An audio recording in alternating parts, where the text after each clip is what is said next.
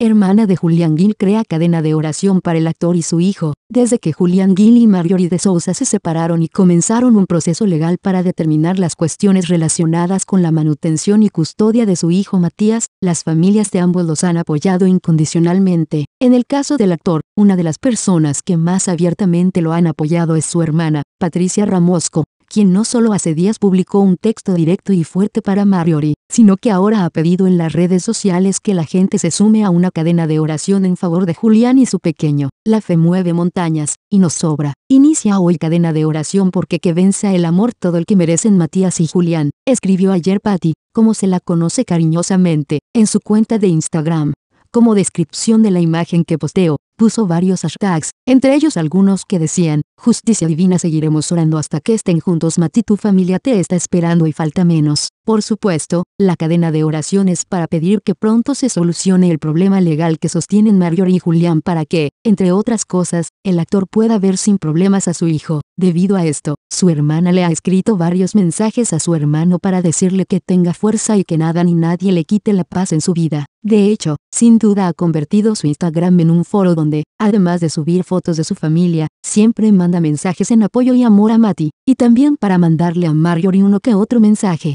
Comillas, tener un hijo es su negocio, grandes carencias ya que obviamente nadie le enseñó a dar y a recibir afecto y yo fui testigo y puedo dar fe de eso, me da tanta y tanta lástima lo infeliz que fue, es y será siempre, eres Marjorie, digna de mucha pena, abróchate los cinturones que cada lágrima que has hecho derramar a mi hermano y a mi familia las vas a pagar y con creces, karma, justicia penal, apunta la fecha porque se te acabó el show, le escribió en una ocasión, por celev.mx, 13 de noviembre de 2017,